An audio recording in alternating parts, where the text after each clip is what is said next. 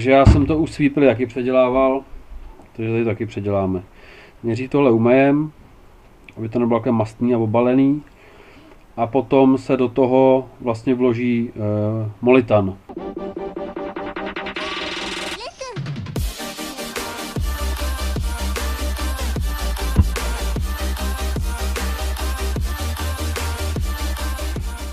Tak, sítku jsem, síťku jsem umyl, tak nějak jsem si ji snažil trochu srovnat, to stejně nejde moc.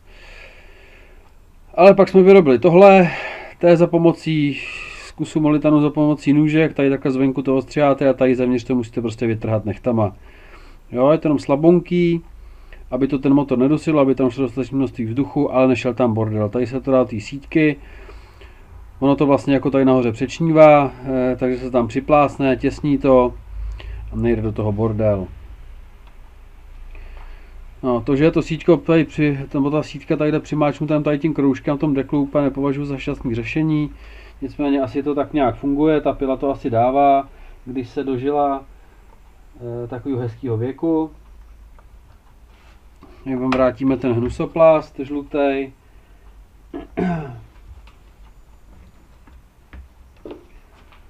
Tak.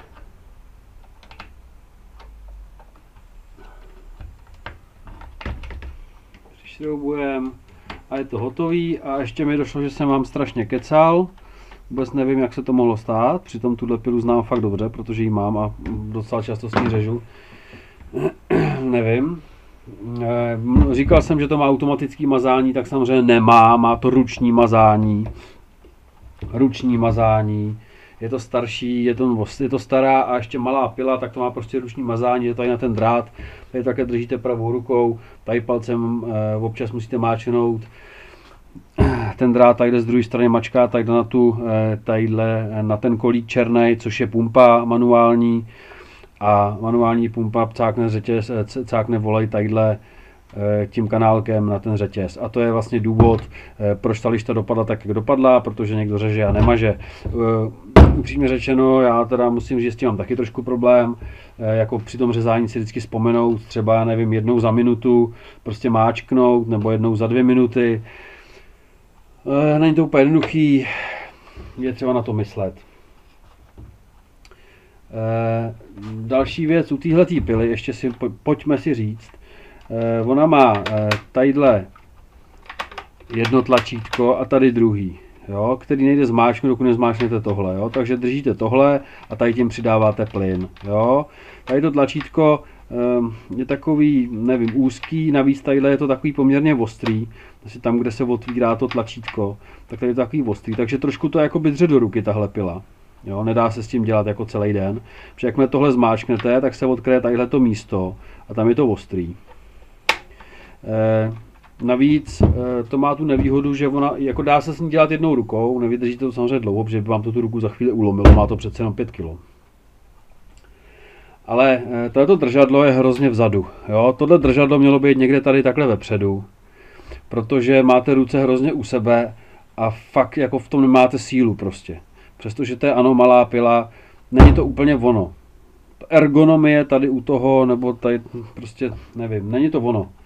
Ale samozřejmě se s tím dá, že se s tím celkem pěkně, ona má poměrně sílu, je to malý hajzlík na větve a podobně, ale pamatuju si, že když jsem byl v lese a, a um, umřela mi moje pila velká, nebo ona neumřela, on se přicpal karbec, ale v tu chvíli jiná nebyla, tak jsem to, tak jsem to dodělal touhle pilou celkem bez problémů, protože prostě má celkem sílu.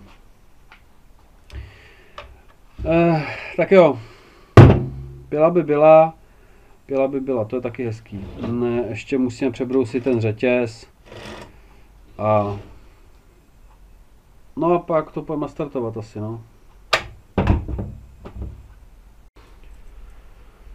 Tak, broušení řetězu, běžně, běžně se brousí e, takhle s tím držákem, což je asi nejjednodušší, nejrychlejší, nebo nejjednodušší, nevím, je to nejrychlejší.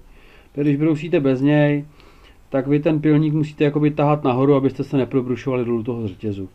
E, tady ten držák vám to podrží, navíc vám ukazuje úhel, který chcete brousit, je to jakoby nejjednodušší, nejjednodušší způsob. A tady pak mám ještě jeden držák,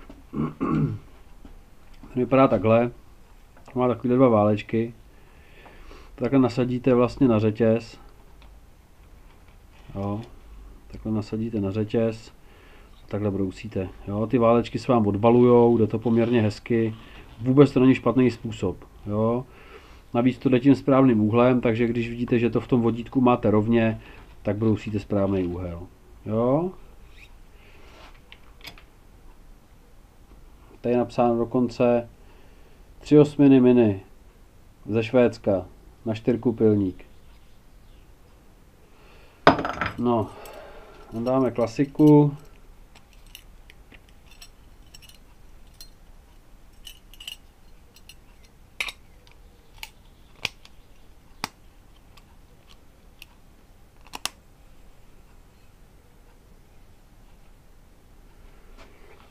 Pojďme.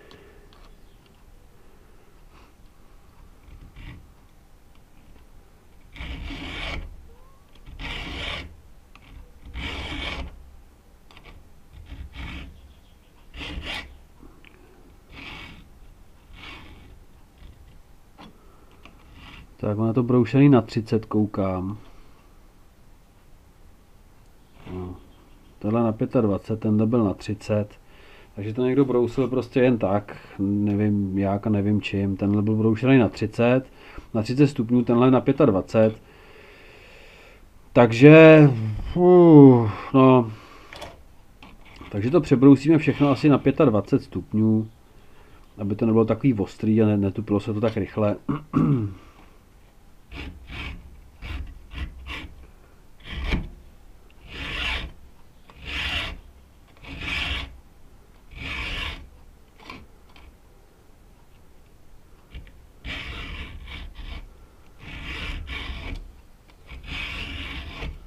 Já vidím, že vy to vidíte hrozně z úhlu. Já když předám tu, já když předám tu, tu kameru, tak už se k tomu nedostanu vůbec. Tak to zkusíme takhle. Zkusíme to takhle, ze zhora. Tam kousek vejš, abych se tam vůbec vešel k tomu. Tak. Takhle, jo, tady je 30 stupňů, tady je ryska na 30 stupňů, tady je ryska druhá na 30 stupňů a tady jsou 25. Tadyhle jednou nakreslených 25 stupňů a tady dole po druhý. Jo, takže, na, takže to budeme brousit na těch 25.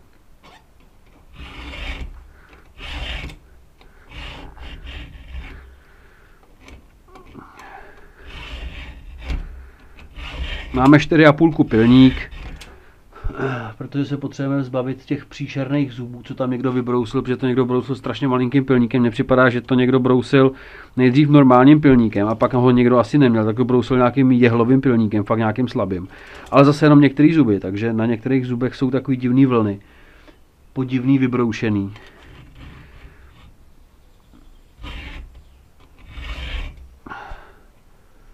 Tak srovnáme si ty ty vlny na tom, ale vylomený kus zubu, a jídle třeba, to je prasárna.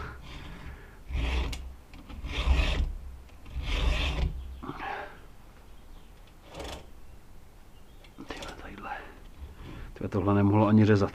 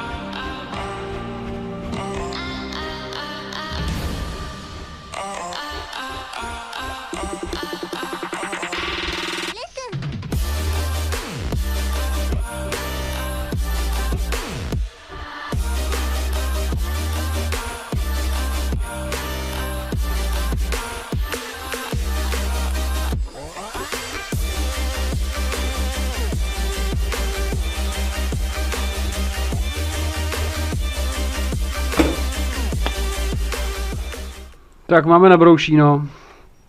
Eh, jak jsem říkal, ty vymezováky, eh, ty já tady ubírat nebudu, protože tady je každý zub jinak dlouhý, tudíž jinak vysoký, takže to vůbec nemá cenu řešit.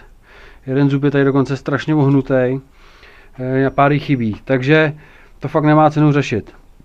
Ty vymezováky se musí řešit až potom, co se srovnají všechny zuby na stejnou dílku, potažmo na stejnou vejšku a pak teprve řešit ty vymezováky. Takže to tady u toho odpadá, to nemá vůbec význam. No a teď si to půjdeme nastartovat.